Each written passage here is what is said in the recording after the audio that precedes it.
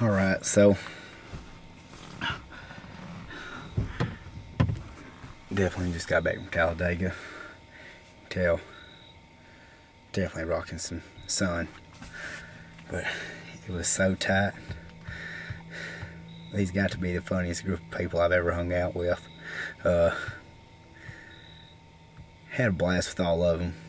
Almost didn't come down here due to some nonsense about stupid girly softball. But I went ahead, hit the road, came on down, and I've loved every single minute of it. Can't wait to do it again.